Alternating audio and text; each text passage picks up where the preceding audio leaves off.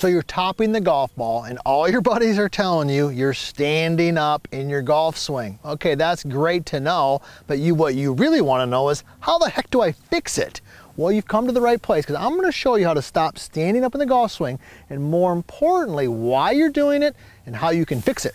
I'm PGA teaching professional Todd Kolb, Director of Instruction for US Golf TV. And it's probably one of the most common terms in golf, right? Is, hey, you're standing up. So what is that, all right? First of all, let's talk about what it is, what causes it, and I'm gonna show you how to fix it. So what it is, is let's say I'm, I got my six iron right here, getting ready to hit a golf shot and I stand up, I mean I come out of my posture. Let me just hit one and show you. I'll do it in slow motion so you can see it. I've got good posture. Notice my posture angles. Okay, when I swing, I stand up. See, I, I literally, my body lost its posture angles and I went up, which caused the club to come up and I topped the golf ball. All right, so you didn't tune into YouTube, you're not following me here at US Golf TV and leaving comments and ringing the bell because to tell you that you're standing up. You wanna know how to fix it? All right, well, first of all, the reason a lot of you stand up in the golf swing is because you don't rotate properly. Now, the reason we don't rotate properly is because we don't set up in a way that allows us to just rotate. So one simple thing that you can do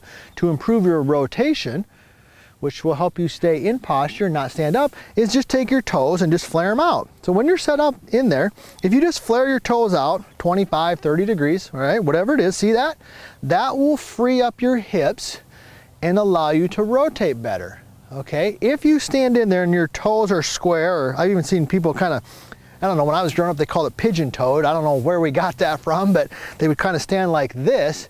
That locks the hips in, which limits your ability to rotate. And then the only thing you can do, because you're trying to rotate your hips like, ooh, I don't like that. So then it just goes to the next place of least resistance and it just stands up. So first tip is take your toes and flare them out a little bit. That's one thing that you can do in your setup,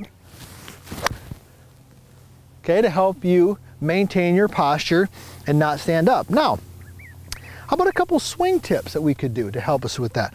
Well, one of them has to do with the right hip, okay? What we call hip hinge. Okay, so I got a belt on right here. I've got the mic box on. You can see that, right? That's why I put the mic box right here because I wanted you to be able to see this angle. When you're set in there, okay, when my belt tips or the back part of my belt is higher than the front part of my belt, see that? You can see the box right there, see the angle of the box? That's what we call hip hinge. This would be hip hinge.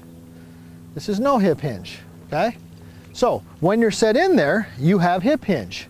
When you stand up, you lose your hip hinge. So people typically think of this problem as like a head movement, your head's going up.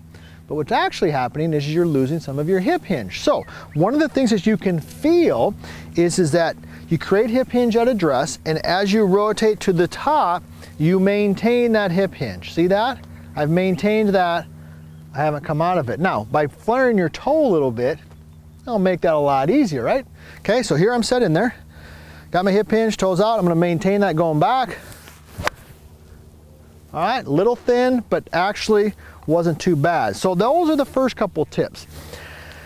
We've got to maintain some hip hinge. Flaring our toes out a little bit will actually help us do that. All right, now, the last thing that I want to share with you that can kind of help this, believe it or not, is your eye line, okay? So how you position your head, okay? When you're set in there, toes are out, you got your hip hinge, simple concepts, right? You know here at US Golf TV, we like things simple. If you haven't already, please subscribe to the channel, right? All right, and ring that bell. So you know when we got new, we got new videos coming out every single week and the family here at US Golf TV is growing like crazy. Comment, put a question in there, agree, disagree, and tell me where you're from. I love hearing where you're from because that's one of my favorite things to look at every time I check out these videos. So let's get back on topic here. How do we stop standing up in the golf swing?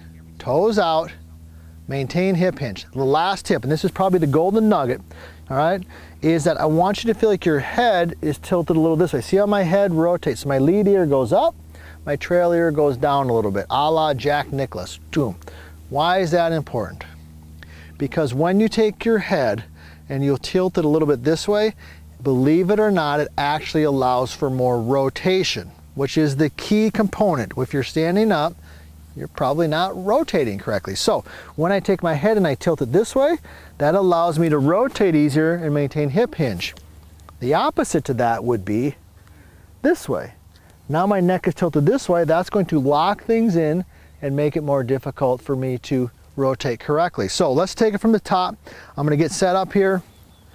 All right, I got my toes out. That helps me turn my hips. Now that I can turn my hips, I can maintain hip hinge. All right, that's a key component. The last thing is I've tilted my head a little bit this way, so it makes rotation easier. I tie all those couple things together, boom. There it is most solid shot of the day. So if you're standing up in your golf swing, your buddies are telling you you're standing up, that's great to know, but you gotta know how to fix it. Toes out, maintain your hip hinge, tilt your head a little bit. Those three things right there will help you start hitting more solid golf shots.